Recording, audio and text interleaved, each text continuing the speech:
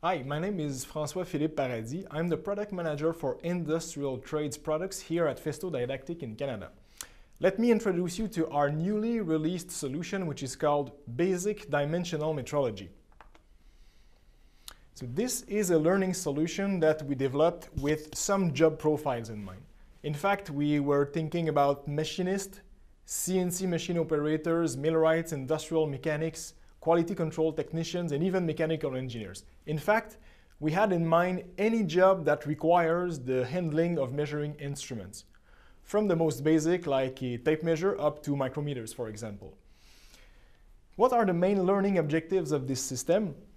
identify and describe various measuring instruments, read various measuring scales, which may seem trivial, but it's pretty challenging. Just think about the various system of units, think about the vernier scale.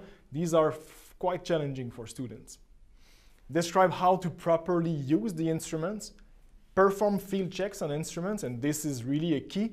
Uh, it's good to have know-how, to be confident in your ability to take measurement, but you have also to be trusting the instrument that you're using. So field check is a really important aspect of that, and this is something we emphasize a lot in the training solution. They will obviously perform a lot of measurements. So this is not a theoretically oriented solution. This is really focusing on hands-on using the tools. But before you can use a tool, you have to be able to read technical drawings. So that's basically the first step.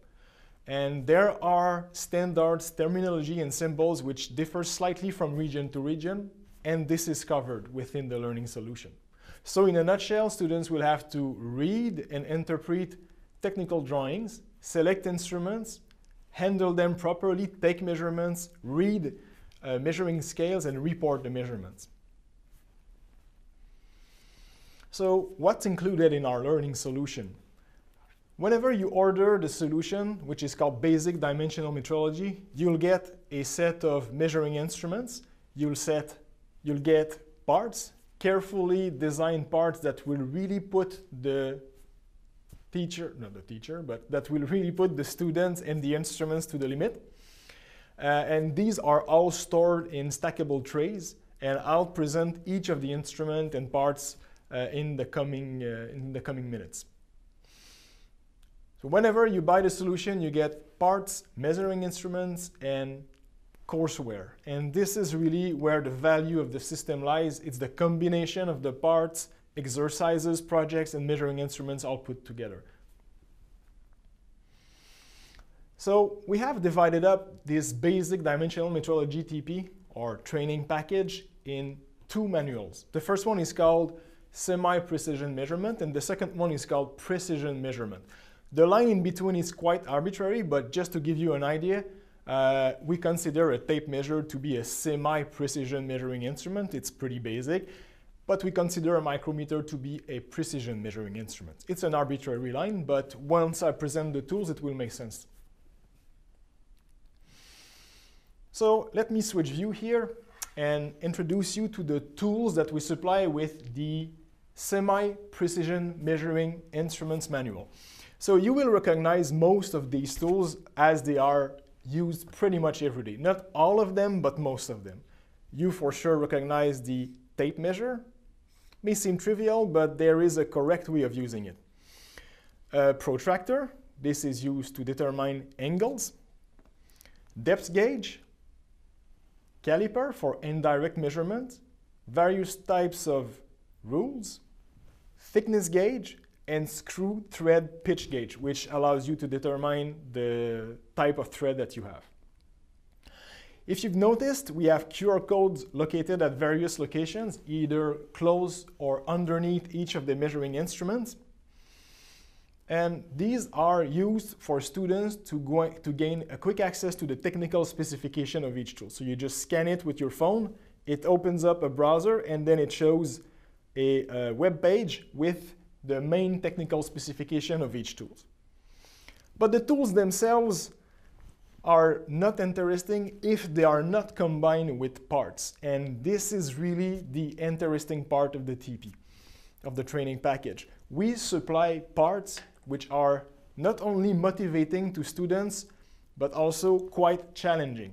So they all represent something real, something that learners will be able to relate to. And we think this is a key to, uh, to gain know-how and to remember it.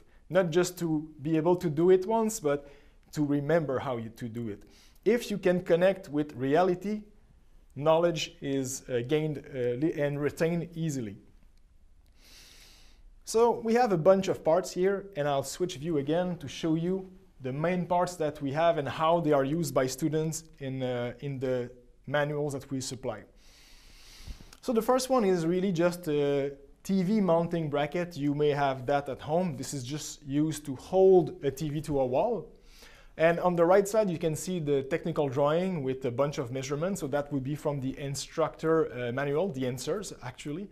So the idea is not for us to supply a drawing and just ask the students to fill in the blank. It's really a guided approach. So in the exercises, we take the student step by step and we guide him through the correct use of the various measuring instruments. So let's go to our newly released e-learning platform, which is called Festo Learning Experience or Festo LX. And I'll show you how students are actually going to do an experiment with that uh, training package. So let me switch here. So this is how it looks like when you are using the TV bracket and the tape measure from the basic dimensional metrology package within Festo LX. So this is exactly the same content as you would find in a printed manual or the PDF, but it's presented in a different way and it allows you, uh, teachers, to uh, follow what students are actually doing, their answers, for example, and it's a little bit more uh, interesting in terms of, uh, of flow. So for each of the tools that we have and for each of the parts, uh, basically students will have to follow steps. You can see here that's really uh, numbered step by step. Uh, it will tell you take the part, uh, take this and this measurement, but along the way it will give hints, advice on how to properly use the instruments. So it's really an approach where students will be not left on their own to figure out how to do stuff, but really to they, they will really be guided in the process. So what you see here is an example where uh, it says uh, identify the TV bracket center to center distance, and then you will have to take these various measurements, and then you will have to enter them here. Uh, in that case, the answers are already there because this is the instructor version of the test project. So multiple measurements are made uh, within the learning experience here, really one by one with advice. And at the beginning, something I have not taken the time to show you, but there is theory uh, that explains the different parts of the instruments, the different challenges you can face when you're using them. So we put a lot of emphasis on photos, pictures that are really talking to students. Instead of spending a lot of time trying to explain something, there are multiple photos. That's a plus. But then also, if a concept is more complicated to explain, we take the time to include a video, and the video appears right in Festo, uh, right away in Festo LX and shows you how to do something. For example, how to use a micrometer, uh, or to use a, a, depth gauge. So there are some videos when the concepts are a little bit more uh, complicated to pass with text. So this is an example. So this is the TV bracket. If I come back to my presentation here,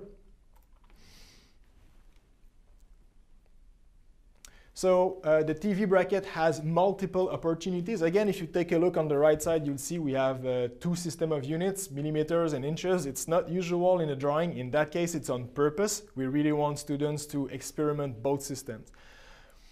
Uh, we have other parts as well. If I go back here to my slides, we have the hydraulic fitting. Uh, again, this is taken from a part that exists for real. And the measurements that they will take uh, they represent measurements that would be the, the ones from real parts. It's not something out of nowhere. It has a, a justification for a certain precision or for the use of a given instrument. Again, multiple opportunities of measurement here. A couple of examples on how students will use them. Uh, we also have what we call a joist hanger. So this is a part that looks like this, like you can see on the picture. Uh, in North America, if you've done any construction work, uh, you've probably seen those. Uh, if not, no big deal. Still, it's a real application. That makes it really interesting. It doesn't require a lot of precision, so in that case, students will be using different types of rules instead of using a tape measure, like shown here in the pictures. Different measurement of angles. And there's also a part which, which is called a sensor bracket. In this case, uh, we have three, three times this part, one, two, three.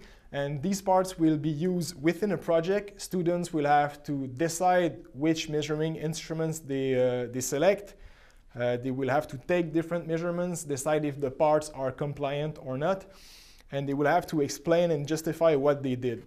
So it's not just about, it takes for granted at this point that students know how to use the various measuring instruments.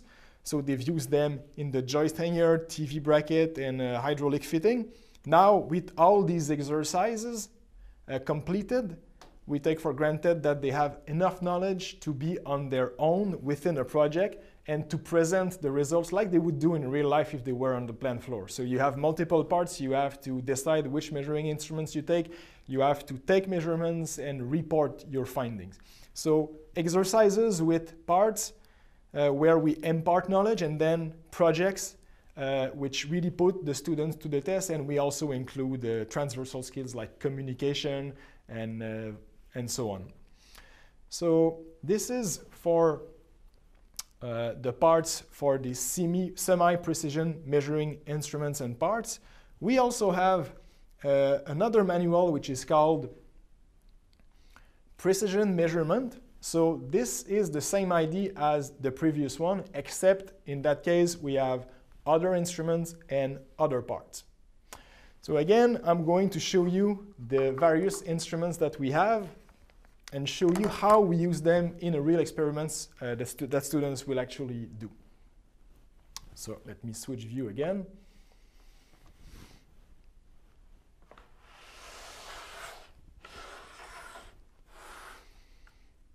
So right here, same idea as the previous set of instruments, but in that case, we call them precision measuring instruments. So uh, you have a digital caliper, which is quite easy to read because you have a digital display here, but we also include a vernier caliper, caliper with uh, the vernier scale, which is quite challenging for students to read. Uh, these are for direct measurements. These also, the micrometer and the digital micrometer, but uh, there comes a time where it's impossible to make direct measurements. So in this case, uh, we also include, for example, these telescoping gauges and small hole gauges, which are used for indirect measurements. So basically, when it's not possible to use an instrument directly on a part uh, because of physical constraints, for example. Same idea as with the other, uh, the other instruments. You have a QR code and you can get the uh, most important technical specifications uh, from the QR codes using uh, a phone. Other parts, again, they are still all related to reality, which makes it much more interesting for students. Let me go to the parts with you. So the first one is a pump shaft, and it looks and feel exactly like a pump shaft you would find in the industry. So again, it's really an application that students can relate to. Multiple measurements have to be taken, and if you look on the drawing, you'll see that in that case, we introduce also the concept of tolerances. Uh, this is the range within which we consider a measurement to be good. If it's not within that range, we say the measurement is not good and possibly the part is not compliant. So the concept of tolerance is introduced and uh, uh, there's a lot of experiments that uh, relate to that. So in the case of the pump shaft, there will be, as you can see on the drawing, multiple opportunities of measurement, which is really the key here. So they will use the vernier caliper uh, to measure diameters, length, uh, width of a keyway. So they will use the various instruments uh, in multiple ways. So there are a lot of opportunities for measurement and then they also have all the possible ways of using an instrument, which is pretty important.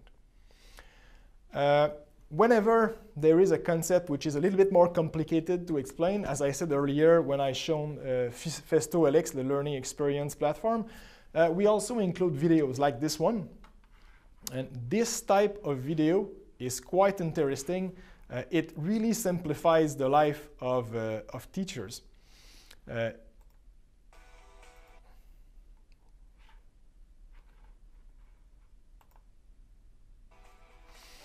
So it shows in that case how to uh, use, how to set the zero on a uh, Vernier micrometer. So it goes step by step showing the students how to perform that. So I'm going not to go through the whole video here, but it really is interesting. It's not, there is no narration, so it's not language sensitive. It just shows you exactly how to do what's asked in the experiment. So that's one approach we have. Uh, and about the parts, I was talking about the various types of parts that we have. So they all represent real application. In that case, we have a conveyor cover. This is taken from a real, so this is a cover in which you would actually uh, insert bearings where you see some holes here. So again, we talk about tolerances. There are multiple measurements that are made by students with here with the digital caliper. Uh, here we have an indirect measurement with a small hole gauge. Another part we have is called a locating pin. And we have the last part, which is also part of a project, which is called the hydraulic brake caliper. So it represents a real uh, hydraulic brake caliper, which is really interesting because again, it puts everything into perspective and they will have to take multiple measurements. It's a project. In that case, again, it's not an exercise which is guided. It's really a project. And same idea as with the other manuals. You practice with parts, uh, with guided exercises, and once the, the knowledge is gained, you can practice it and you can show that you understand by using different parts in the project section of the manual. So let me show you a little bit how it looks like uh, for a student when they look at the manuals themselves. So I've shown with Festo LX. Now let me show you a little bit how it looks like with a PDF or a printed copy of the manual. So at the beginning of each experiment, you have the time it takes to perform the experiment and you have the main learning outcomes. So that allows you to select experiments. So if you don't want to do one, uh, you can know right away if, it's, uh, if the length is okay to you, you can know if the learning outcomes, they correspond to what you need to teach. So there's always a bit of theory, but we don't spend too much time on the theory itself. It's really, as I said at the beginning, oriented to practical aspects of measurement. So it's good to know the different parts. Uh, it's good to know how to read it. It's really important. But then we really quickly move to using the tool. So I'm going to scan through the theory quite quickly here. Uh, here it explains how to measure with an actual micrometer.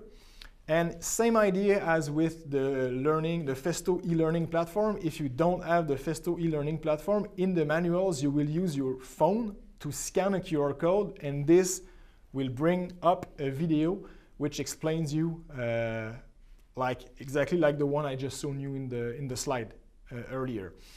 So you can either use a phone to scan the QR code, or if you don't have a phone, you can just click the link and it brings you to the video.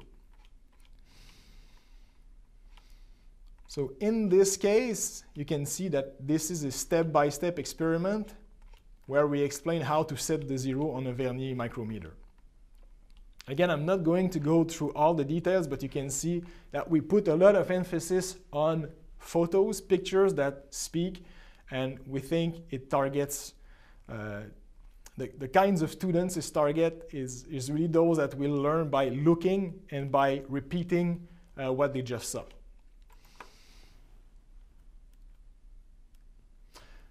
One interesting aspect is that uh, Learning is enhanced with augmented reality, which means that if a student wants to prepare but doesn't have access to the part, and some students have a hard time figuring out how a part looks like in 3D. If you turn it around and you want to see the details, sometimes a photo is not enough and a drawing in 2D is not enough. So they can actually use their phone, scan, uh, scan just the photo of the part, and with the free Festo AR application, they can see the part in 3D uh, through their phone as if it was floating in the air just around them. So it's it's kind of cool for students and it helps those that have a hard time figuring out how it looks like from a, a drawing uh, and they really need the 3D. So really step by step, exercises also uh, which are aimed at reinforcing in the review questions that are aimed at reinforcing reading measuring scales uh, we think it's important to use the, the, the, measuring instruments, but it's really important to master how to read these instruments. So there is a lot of review questions, questions that deal only with reading the different scales. So you have a picture of a scale and it asks you what is the measurement. So this is for exercises. Uh, as I said, at the end of each of the manuals, you also have projects uh, where students are going to put to the test their acquired knowledge and skills.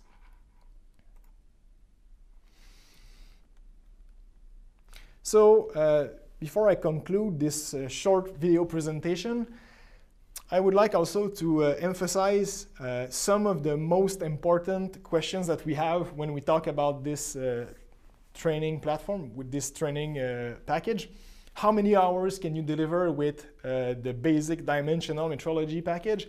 With the tools, parts, exercises from the students' manuals, there is up to 35 hours of uh, combined theory and exercises. So if a student starts from scratch, from zero, he knows nothing, and he decides to read the complete theory, watch the videos, uh, and practice and follow the steps, uh, it's 35 hours how many students can work at the same time? Uh, this is another very interesting question.